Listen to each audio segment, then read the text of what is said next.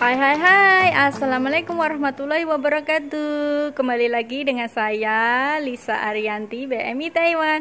Oke guys di video kali ini saya akan berbagi cara daftar sepeda kuning Ubek di Taiwan ya. Kalian harus wajib punya isi card atau yoyo card nih.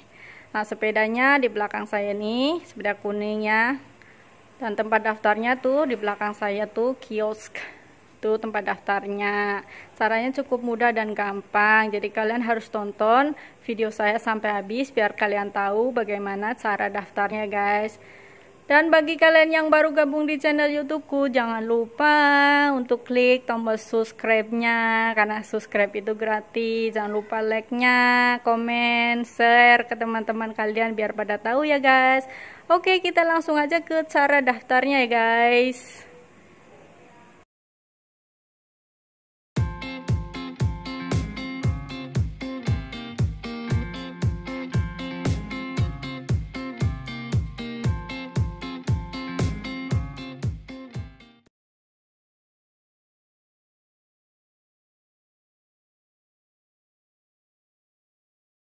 Nah ini kartuku. Yoyo baru guys. Isi cardnya nih baru beli. Lucu banget. Hello Kitty ya. Nih saya buka ya.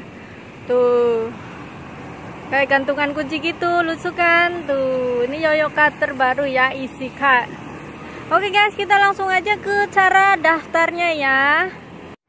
Oke guys, kita langsung aja ke cara daftarnya ya. Di sini ada dua bahasa, Mandarin dan Inggris. Kita pilih Inggrisnya kemudian kita pencet yang tulisan di rentingnya gambar sepeda ini. Kemudian kita tekan yang join member nih.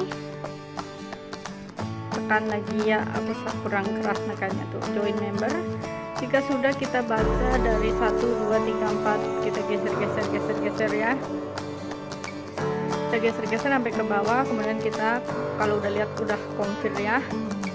Kemudian berikutnya kita lihat lagi ke bawah ke bawah. Jika sudah oke okay, kita contreng ya. Loh ini belum contrengnya belum pas nih. Contreng dulu sampai ini putih tuh. Udah contreng kita setuju agree ya setuju. Lalu kemudian kita masukkan telepon nomor Taiwan kita. Masukkan nomor. Nomor Taiwan kita berapa ya? Misalnya 09786 berapa bla bla bla bla. Usahakan sebelum waktu habis nih udah 3736 34 detik ini sebelum waktunya habis kita harus cepat-cepat masukkan kode free casingnya ya. Kodenya itu ada empatnya 4928 terus tekan finish kemudian tekan confirm. Jika sudah muncul lalu tekan apa ini? Paspor. Kita masukkan paspor sesuka kalian ya. Misal satu tiga empat lima enam gitu ya. Terus konfirmasi paspor ulang kemudian confirm nah, ini sudah ke satu kedua ketiga. Ketiganya ini tinggal pencet nih. Tulisan confirm to next the page. Confirm to next the page. Nih confirm to next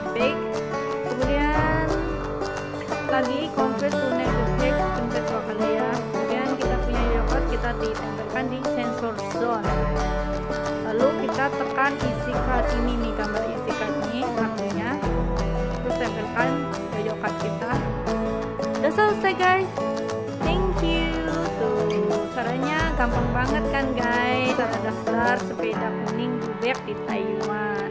Gampang dan mudah banget. Jangan lupa kalian wajib punya yoyo card ya biar kalian bisa daftar seperti ini. Dan wajib yoyo cardnya tuh dikasih uang guys biar kita bisa dipakai. Karena kalau nggak ada uangnya nggak bisa dipakai deh. Udah banget kan? Tuh. Video yang kemarin saya sudah buat caranya itu mudah banget ya.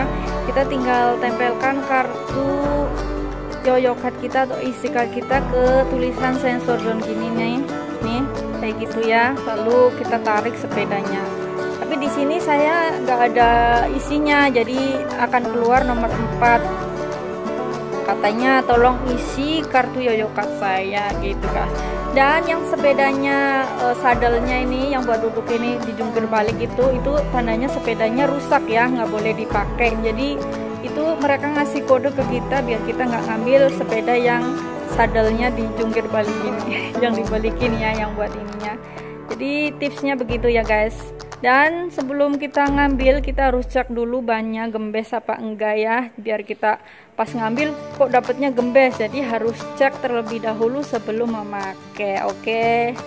dan ini saya untuk mengetesnya kita pakai yoyokat yang sudah ada isinya ya Oke okay guys, jika kalian sudah daftar, kalian boleh pakai sepedanya sesuka hati kalian. Jangan lupa kartu yoyokatnya diisi uang biar bisa dipakai ya kemudian di sini 30 menit hanya 10 NT saja 1 jam 20 NT murah meriah sekali 20 menit gratis. Nah di sini cara ngembaliinnya cukup mudah banget. Kalian tinggal masukkan itu e, kuncinya atau locknya itu ke lubangnya tuh sampai bunyi klek jika udah bunyi klek ini baru kita tempelkan kartu yoyokan kita.